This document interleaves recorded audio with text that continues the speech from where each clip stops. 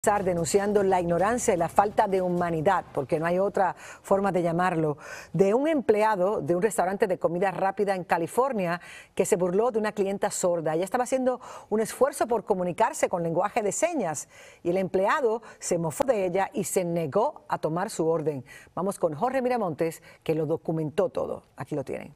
So I want number eight, please. I say, can I, I you? am I say, deaf. no! I can't hear you. Shut up! I say no! No, no.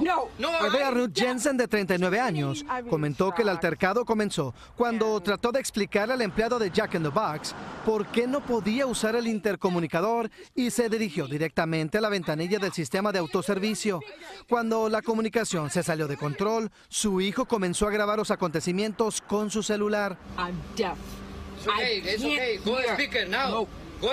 Arnud nació sorda y se comunica a través de la lectura de labios y lenguaje de señas.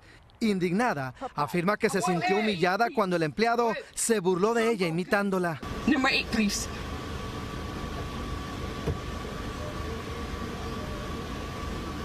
Number eight, please. Eso no puede continuar. Necesita parar.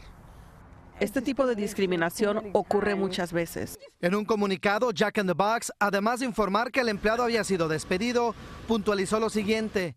No toleraremos el maltrato a ningún cliente y esperamos que los empleados sigan todos los procedimientos de capacitación, siendo respetuosos, corteses y serviciales con todos los clientes. No es solo entrenamiento, eso no va a cambiar.